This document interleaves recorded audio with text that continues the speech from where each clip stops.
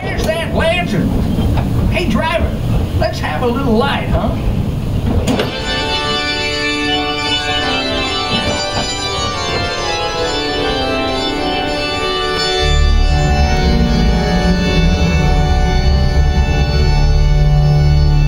Take a look at that. My, my, what a beautiful sight, I tell you.